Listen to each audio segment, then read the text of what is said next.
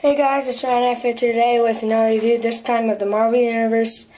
Don't believe it's, uh, well, Marvel Universe Cyclops figure. This is the Jim Lee Cyclops, based off from the 90s when, oh, I don't know, the 90s, but this was the um, Jim Lee Cyclops, and um, this is what he, oh, uh, yeah, Jim Lee, sorry. And um, this is basically what they call the first appearance um, Cyclops. I know this guy's been out for a while now, but um, one minute. So he's been out for a while now, but decided to review him because he's that because um, he's a pretty cool figure.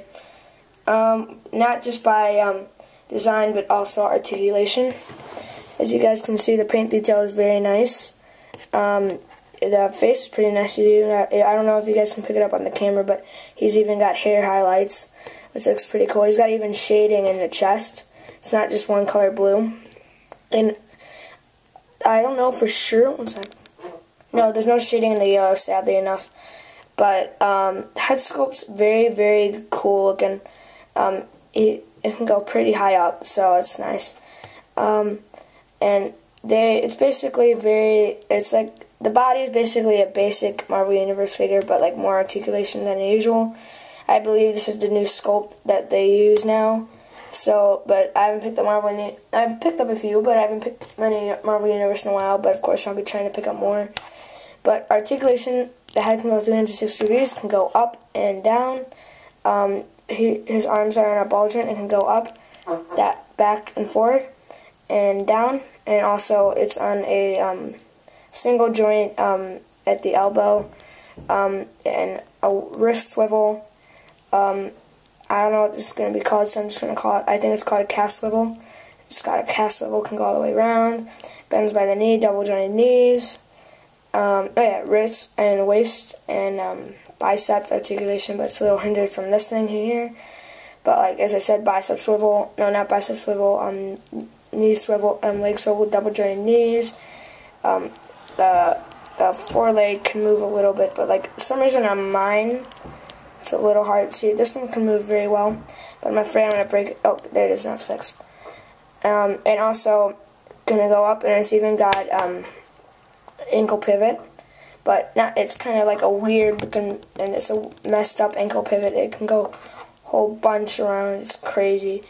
But it's pretty cool. The articulation is very nice. As you guys can see, the hand looks like as if he's going to push the button on his glasses. Sharon's Prime side stuff, fisting pose. you can see. But very cool looking figure. Um, the figure all together is designed very well. Wish I had that. Um, I wish I had the Jean Grey '90s costume, but sadly I do not. But very cool looking figure. I love the shading in the blue. I love the um, head sculpt, but the only problem about my head sculpt, it, um, the paint and also the paint detail, the only problem is I don't know if you can see it on the camera, but like the blue right here, they also painted a little up there, so it's kind of like smudging, sadly enough, but still, this figure is a very cool looking figure. If you're an X-Men fan, you should really pick this guy up, especially with the new um, Ju Jubilee and um, um, Professor X coming out, and also Archangel. No, not Archangel, just Angel. Because, of course, they've already made an Archangel. But, one sec, you can put him in some very cool looking poses. Let me show you. This is my regular pose that I put him in with the um, my display. So, one sec. Let's put him into cool looking display pose. Let him stand. But like you can put him into pretty cool looking poses, especially with the um, ankle pivot and ankle rocker. Well, it, it's basically an ankle pivot. So one sec. Come on, stand. All right, there. You, oh my god. Yeah, but Marvel Universe has really stepped it up on the artic articulation. Um, I really want to get that new beast because they've got like it's got, I don't know, I don't believe it's got ankle pivot, but I believe it, I know it's got toe articulation, which is pretty awesome. But, one sec, I'm trying to get him in the pose that I always pose him in, because he looks really cool when he does that. Oh my god, this is the problem with Marvel Universe figures sometimes. I lost his stand. He comes with a stand, I know that too. wish he would have came with like a one second. Let's move with this. So you can see him better. But like, wish he came with like a cosmic beam that comes out of his glasses, and like it would be removable because that would look awesome. I gotta say.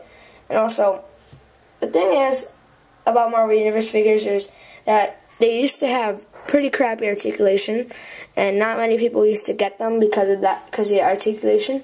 But they've stepped it up and done very well with the articulation. They've got, um, especially with the Super, um, Super Spider-Man that I did a review of earlier this year. And, um, if you haven't seen that review, go check it out because it's a pretty cool looking figure. But this is a, they've stepped it up with articulation, and they've and they're also paint detail.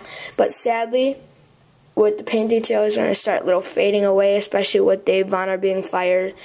Also, he's now officially part of Jazwares. I don't know what toy line he's going to be up on yet, but hey man, I'm getting off topic. I wish he had like the Cosmic Beam, the um, STC exclusive um, Mate exclusive figurehead. It's a separate helmet. I didn't pose him with this because they're all just standing up there doing, and it's not an epic battle. Eventually, I'll do an epic battle, and he'll be using this. But I wish they would have done that. It would like it would been. I wish it would, but the cool thing would be if it would be removable. I'm gonna one sec. I want to compare the um, Minimate version to this figure because I just thought, why not? Um, this is the Minimate version. Um, you can take off the face and you see the glasses. It doesn't come with the beam, sadly, but like you can put them in the same exact pose. It's pretty nice. So, um, yeah.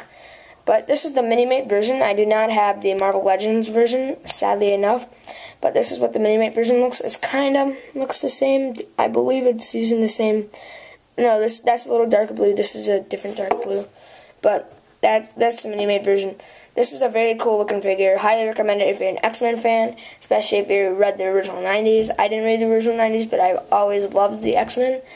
But of course, Avengers X-Men, Avengers all the way, because I read a bunch of um, Avengers titles. But very, very cool looking figure. Highly recommend it if you're an X-Men fan and a Marvel Universe fan because this figure has a whole ton of articulation. When I say a whole ton, I mean a whole ton. Very cool, cool figure.